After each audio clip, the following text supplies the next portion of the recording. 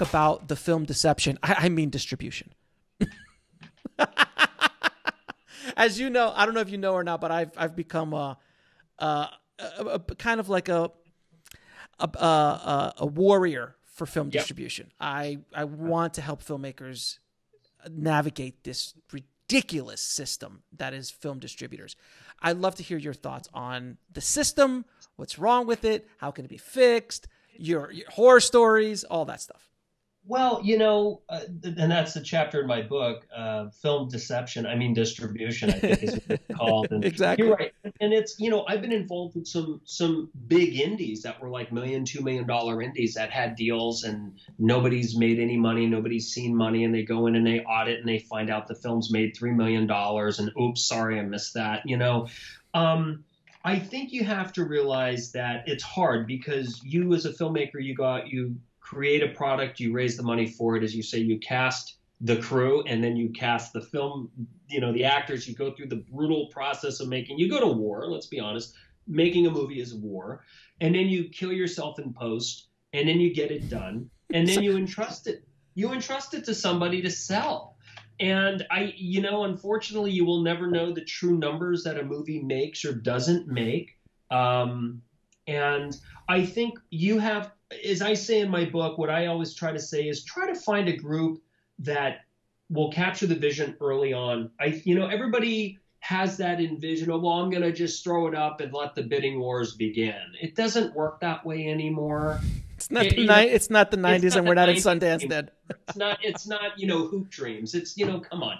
So what I always suggest is really try to develop relationships with with distributors that have got longevity. You don't want somebody who just fell off the turnip truck or a guy who's running a company who was part of a company for two years and part of a company six months before that. You know, there's some good companies out there that are tried and true. Mm-hmm. Just know going in, they're they're all going to have their creative accounting. And but stop right there. For, so stop there for a second. I just want to I want to touch on that. And this is what I've been yelling about from the top of the hill. Therein is it, it's a systemic problem in that side of our business. It has been going around since the days of Chaplin, which is yeah. called creative accounting.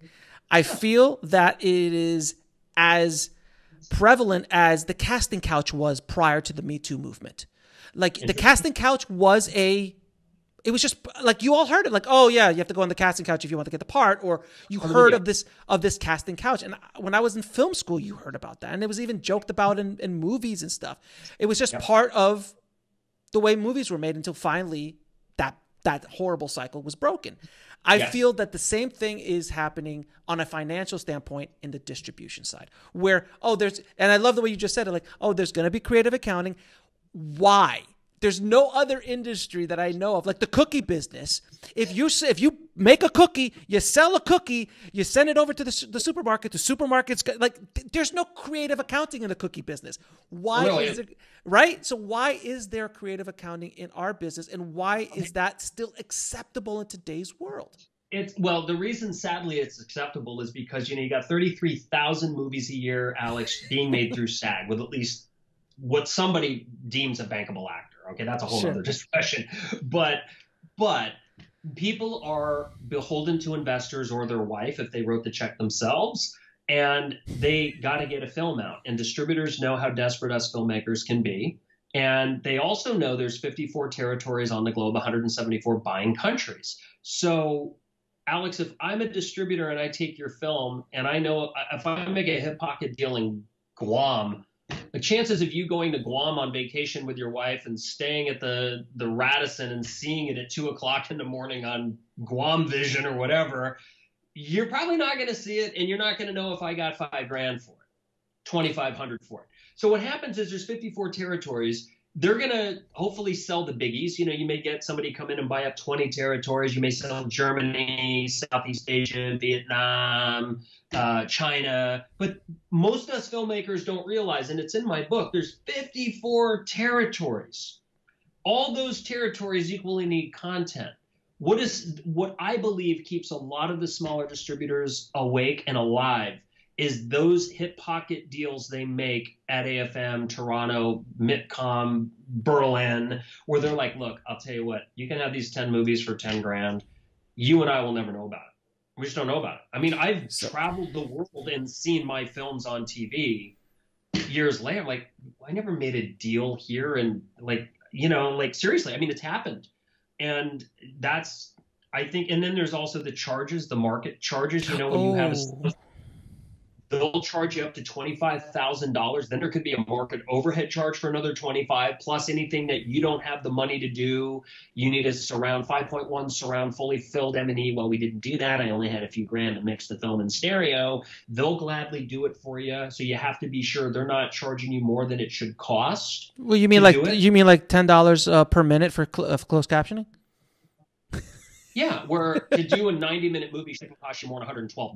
I mean, right. I remember I remember doing a music video for VH1 for an artist. I won't say who, mm-hmm. and um, VH1 demanded um, we did closed captions for their video, and I found a place that was for a music video, three and a half minutes. You've done a lot of them. Yeah, yeah, yeah. Uh, closed captions for. No. Uh, what year was this? What year VH1. was it? What year? What year was this? Oh, it was like 2004. Okay, sure. Okay.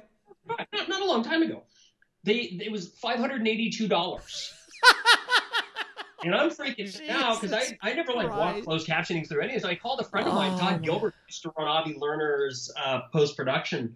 I love Todd, and I called him. I said, "Hey, buddy, I got a question." He's like, "What are you out of your mind? Call this place in San Francisco. It's gonna be like, it's it's gonna be like no money." So the music video ended cost me like thirty eight dollars, and right. I did the same company for my 90 minute movies. It's $112 for 90 minutes, all in. Exactly. And there's so many other options now as well. But so I love I love the term hip pocket deal because uh, not many people understand what that is and what you've basically explained is like they have your movie they have worldwide rights what they're going to do is they're going to call up uh, south africa um, or even a smaller market and you have a relationship with guam let's say guam and they're like look i'm going to give you two thousand dollars. give me 2000 bucks for this film and uh, and you'll never hear about it because you, unless you audit them, and even if you audit them, good luck. And so that you have no power. You but are, that's get away from it. Though not to right. cut you off, the way they get away with it is they do the block deals. So there is no paperwork for that film. Oh, let's yeah talk about packaging. Don't get they yeah. Do, they'll do ten to twenty films for twenty. It's a thousand to two thousand dollars per title. Take all these titles. A lot of people. I had a guy who came to me to help sell his film, and I, I befriended a former Scorn distribution guy. And he said, and I said to him, this guy's got insomnia. He's up at 2:30 in the morning watching Cinemax. He can't figure out how some of the worst movies in the world are on there and why his movie can't get on there. He goes, "Oh, I can get it on there tomorrow. We'll just have to package it with 10 to 20 others. He'll get 2 grand and it'll be on Cinemax in 4 months." He goes, "Because those deals are packaged, they don't show up." They just, I'm, I'm sorry, but that's just, not, not to throw Cinemax under the bus. Cinemax isn't doing anything wrong. It's the people peddling these package deals to these foreign networks and countries and ancillaries. It's just what happens. And there's also don't forget the fire sales. And there's fire sales as well. They're oh. like, oh yeah, here I'll give you this movie for 500 bucks. Just you know, here yeah. you go. And and those deals are done at AFM. They're done at Cannes. They're done at Berlin. Yep, and they're done online now. yeah, but you're right, and, and where that comes from is a sales agent takes on a film, they can't give it away, it's a stinker, and they may have put together some artwork or a trailer and be out a few grand of liquid cash to their vendors to get it done. They need to start recouping. So what I always tell filmmakers is please, please, please, please read the fine print read my book because I actually copy and paste a lot of contract misleading language in that chapter of my book. I the the way the book came about, I I get a lot of calls from independent filmmakers for advice. I even get some calls from very well-known filmmakers for advice when they need to save a buck or two. And what what happened was is I started writing a blog and they said, "Hey, do you want to write a book?" And then my wife was like, "You know, you're giving a lot of time to people. Why don't you just you keep?" She goes, "I've been listening to you do this for 20 years. You keep telling them the same thing. Why don't you just write your thoughts down and it's all in one place?" And that's how the book became. And while I was writing the book, I had a really respected indie filmmaker who, for the first time in their life, was stuck. He raised over a million and a half dollars of his own, you know, of liquid cash, made a movie, got a couple of big stars attached, and it was on his ass to sell his movie to get distribution. He had no idea how to do it. He was a mm-hmm. very good filmmaker with no business in distribution. So he starts sending me all these contracts, and his investor wants him to sign this with this company. And I that is when the light bulb went on for me, Alex. I went, oh my god, I got to write about this. I have to take these documents and copy and paste them and put them in a book because these are so duplicitous and so misleading. People don't realize when they have a twenty thousand dollar market charge and then twenty thousand dollar service charge. That's forty grand that the movie's going to make before you see a dime, plus a percentage, plus marketing costs of a trailer. Well, the trailer probably costs them a thousand to make. They're going to charge you five grand. The posters cost them a few hundred. They're going to charge you fifteen hundred. That all gets back charged, dude. And then they're going to take twenty percent on top of that as a commission. Oh yeah, but they'll take. Don't forget, they take that twenty percent before all of those expenses. They make sure that they, yeah. Oh, oh yeah. So if if you're saying hundred thousand, that twenty grand goes right off the top. Then they start pulling out all the. Yeah, it's Yep, it is right. su- it's such a, a scam, and I think that I mean my, my my second book, Rise of the Film Entrepreneur, it's about giving the filmmaker the power to take control of their own thing and.